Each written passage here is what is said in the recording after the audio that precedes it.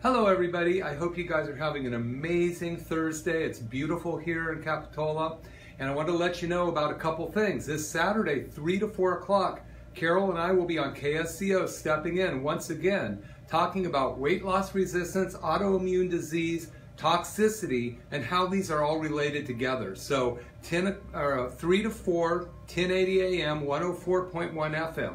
Also, Dave Michaels on Flight 1080 has invited me to talk on Tuesday night show from 4 to 6 o'clock. I'll be talking about local history in my family's five generations here, and probably about my three books and some that are coming out. And this is uh, The Adventures of a Little Big Jim. I'm working on a new cover for it, so hopefully you guys are going to like this cover better. And then um, on Wednesday night, 6 o'clock here, we will be doing a workshop on cellular healing, 6 to 7 o'clock.